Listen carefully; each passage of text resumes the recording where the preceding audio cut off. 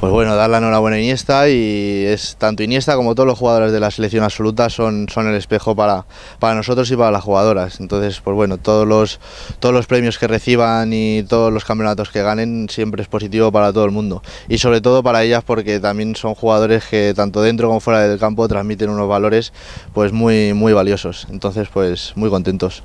La verdad es que Iniesta y un jugador español se merecía este premio ¿no? por todos los éxitos que ha tenido la selección española y la verdad es que Iniesta, tanto dentro como fuera del campo, es un ejemplo a seguir y bueno, todas sabemos lo que transmite y la verdad es que es uno de los valores de, de este fútbol español. Se lo merecía, él se lo merecía por su manera de jugar y porque fuera del campo no o sea, no es un jugador que no se lo cree ni nada, siempre va con humildad, es lo más importante de él.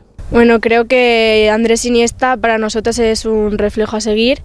Además, creo que lo que más, lo que más se valora en él es su humildad. Además que lleva en el centro del campo junto a Xavi.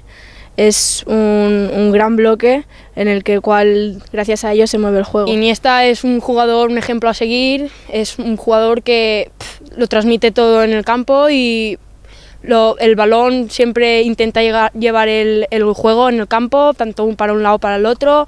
Y es un jugador completo, como diría yo. Lo han elegido mejor jugador de Europa porque, por su humildad, por, por su trabajo dentro y fuera del campo.